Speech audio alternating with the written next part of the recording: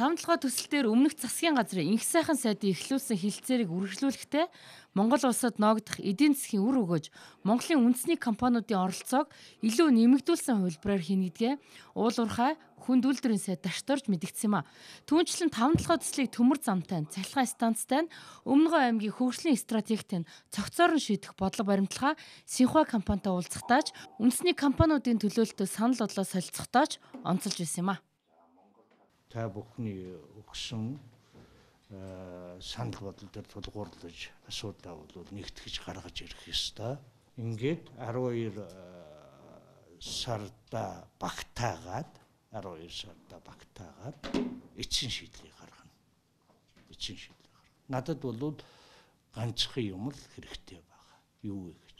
Нэгдүгürt нь энэ төсөл урагшаа агсан байх ёстой хоёрдугаарт нь монголчуудад өгөх өгөөж нь нэмэгдсэн байх ёстой. Дэлхийн зах зээл дээр нүүрсний үн өсөж байгаа яг энэ цаг үед л 5 толгойг хамгийн ашигтай хувилбараар хөдлөх боломж байгааг дотоодын компаниудын төлөөлөл онцолж байсан юм а. Нөгөө талаас шин засгийн газар ч улс төрийн илүү тогтвортой нөхцөлд ажиллах боломжтой учраас гадаад дотоодын хөрөнгө оруулагчдад ихтгэл төрүүлэх урт хугацаанд хамтран ажиллах боломж байгааг онцолж байна гол нь хажуунаас нь орж ирээд альва нэг асуудлуудыг уус төржүүлдэг. Аа тэр горын тэгэл сүүлийн хэдэн жил бол бид нар бүгд тэрийг бол хангалттай амслаа. Тэгэхээр энэ дээр бол монголчууд бид хэдий бол хангалттай сургамж авсан байх гэж ойлгож байна. Зөв буруу ямар нэгэн төслийн одоо шийдэл нь эдийн засгийн талаас зөв байна уу буруу байна уу гэдгээ илүү хилцээд хоосон улс төрчлөлт популизмыг л ардаа орхисол гэж бодож байна. Түүхийдийн зах зээлийн цикл гэдэг маань өөрөө бол байнга сайхан яваад байхгүй тийм ээ. Тэгээ бид нар одоо яг энэ өсөж байгаа энэ үед нь маш хурдтайгаар арга ивэ болоод тийм ээ зохион байгуулалтаа зөв хийхэд ингээд одоо Монголынхоо тэр баялагийг зөв үн хүргээд ингээд зарах ийм их хурдан хийх хэрэгтэй. Энэ удаа бол бас засгийн газар маань бас их тогтвортой үйл ажиллагаа явуулах боломжтой байх шиг байна. Шинхаа гэдэг энэ компани одоо энэ ажилд хөрөнгө оруулах бидэнтэй хамтарч ажиллах юм тохиролцоонд хүрсэн гэдгийг сонсоод одоо бидний ихтгэл үнэмшил дээшилж байна.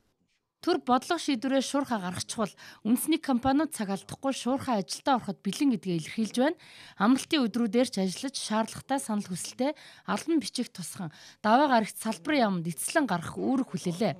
12 дугаар сарда Бахтан гадаад дотоодын хөрөнгө оруулагчдын санаа бодлыг эцэлэн сонсоод төслийг урагшлуулах гол алхмуудаач хийж эхлэх төлөвлөгөөтэй байгаагаа ажлын хэсгийнхэн дуулгаж байна. Уул уурхай хүнд үйлдвэрийн сайд дашторжоор ахлуулсан ажлын хэсэгт байгаль орчин аялал жуулчлалын сайд оюун хорл, зам тээврийн хөгжлийн сайд Ганбат нарын 19 хүн ажиллаж байгаамаа. Уг ажлын хэсгийн урилгаар China Xinhua Energy гадаад хөрөнгө оруулалтын компани захирал Лубин олон улсын хамтын ажиллагааны газрын захирал Люсиан нарын төлөөлөгчд өнөө өглөө Монгол улсад ирж хилцээрт оролцох хүсэлтэд албан ёсоор дахин илэрхийлсэн нь манай 5 толгойн ордын үнц нь өдрөөс өдөрт өсөж байгаагийн илэрлийн зэрэгцээ Далай ламын айлчлалын дараах Хятадын засгийн газрын мэдээлэлүүд хоёр орны бизнесийн харилцаанд сөргөөр нөлөөлөөгүй илэрлж хийж үзэх боломжтойг хувийн хөвшлийнхэн өнөөдөр онцолж байсан юм а.